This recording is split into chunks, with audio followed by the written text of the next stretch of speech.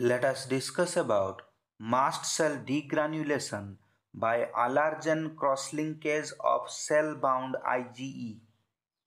On the surface of mast cell, IgE Fc receptors are present. First of all, IgEs bind to the IgE Fc receptors. The allergen then binds to the bound IgEs in such a way that the bound IgEs are cross-linked by allergen. The mast cell then undergoes degranulation. Now we will discuss about mast cell degranulation by antibody cross-linkage of IgE.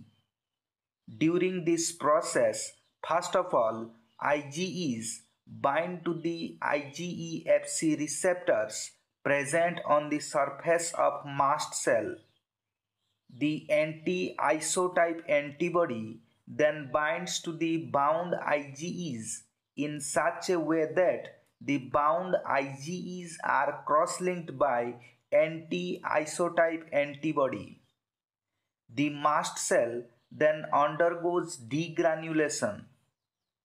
In another method of mast cell degranulation by antibody cross-linkage of IgE, first of all, IgEs bind to the IgE Fc receptors present on the surface of mast cell.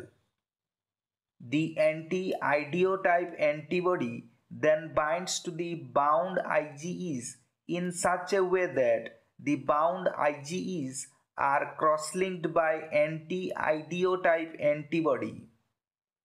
The mast cell then undergoes degranulation. Now we will discuss about mast cell degranulation by chemical cross-linkage of IgE.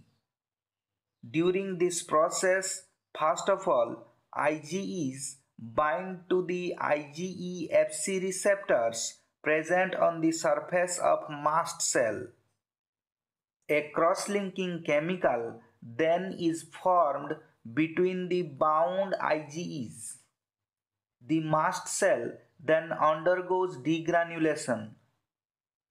Now we will discuss about mast cell degranulation by cross-linkage of IgE receptors by anti-receptor antibody.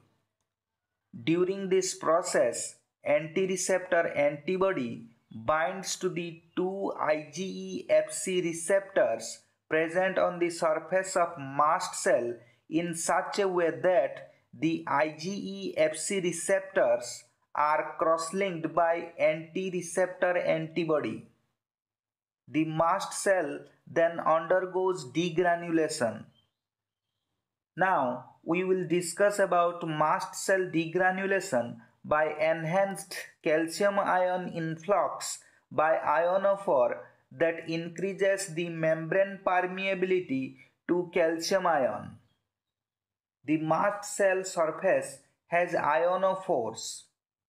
The extracellular calcium ion then passes through ionophore into the mast cell cytosol.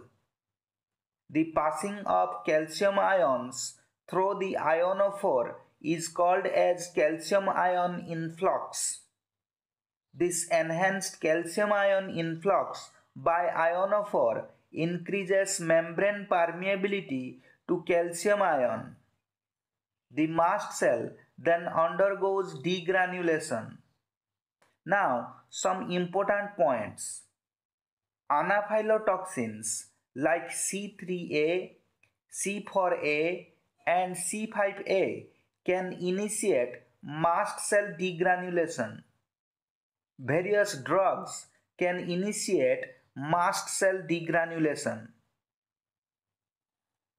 Please like, subscribe and share.